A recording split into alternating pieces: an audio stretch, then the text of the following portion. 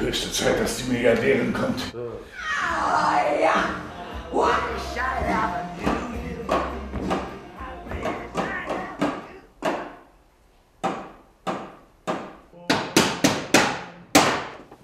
Dies ist die Geschichte. Ich gebe Güllen eine Milliarde und kaufe mir dafür die Gerechtigkeit.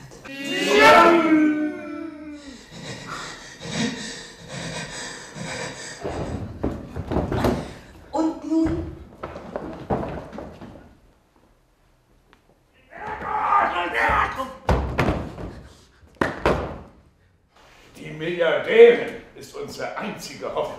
Außer Gott.